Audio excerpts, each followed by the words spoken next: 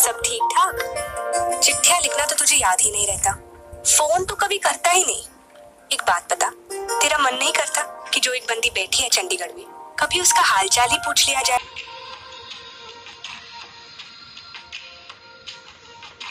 चम चम चम।